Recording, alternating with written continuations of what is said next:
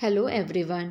I am Poonam Jadhav working as assistant professor in Department of Computer Engineering AISSMS IOIT Pune. Today we are going to see the logical operator in propositional logic of discrete mathematics course. There are five propositional logical operators negation, not, conjunction, and disjunction or implication if then biconditional if. Negation. The negation of statement is formed either by introducing the word not at a proper place or by prefixing the statement with phrase that it is not the case. Here in the truth table you can see when we have the value as t, for p the negation of p is f. When we have the value as f, the negation of it is t. Consider the example I am going for a walk. Then negation of it is I am not going for a walk. Or you can say that it is not the case that I am going for a walk. Conjunction The conjunction of proposition P and Q is denoted by P inverted V Q and has the truth table as P has T T F F Q has T F T F. When we do the AND operation, we get the truth value as T F F F. Consider the example. Statement P the sun is shining. Statement Q, the birds are singing. Then P and Q is the statement sun is shining and birds are singing.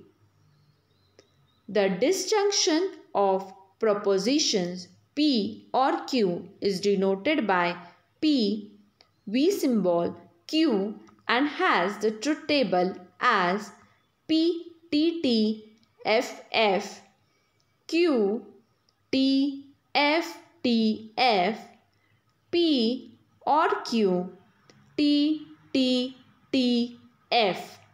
So when we have either of P or Q as T, we get P or Q as T. Otherwise F. Example, there is an error in the program or the data is wrong. So the P statement is there is error in program. Q statement is the data is wrong. So in the symbolic form we write P or Q.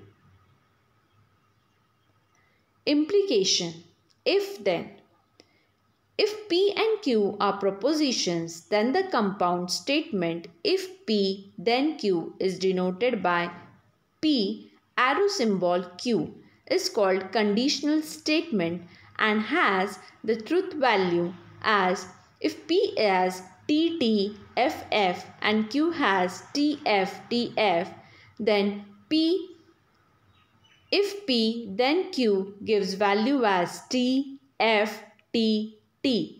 Means when we have the truth value of P as T and Q as F then we get F. Otherwise we get T in P implies Q or if P then Q, P is the hypothesis antecedent or premise and Q is the conclusion or consequent. Consider the statement P, I am in good mood. Q, I will go to movie.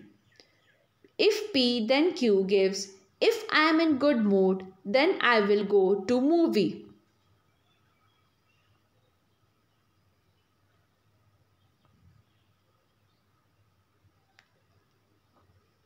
Biconditional. If P and Q are propositions,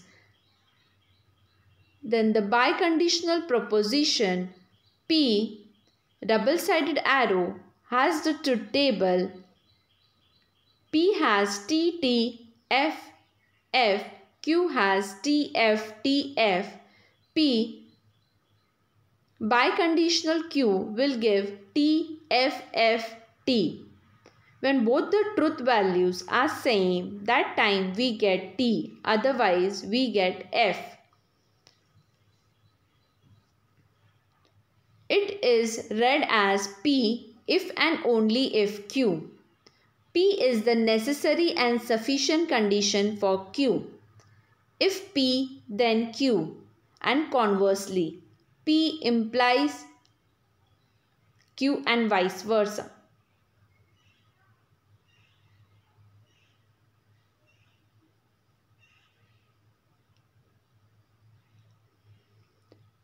Integer, consider the statement integer is even.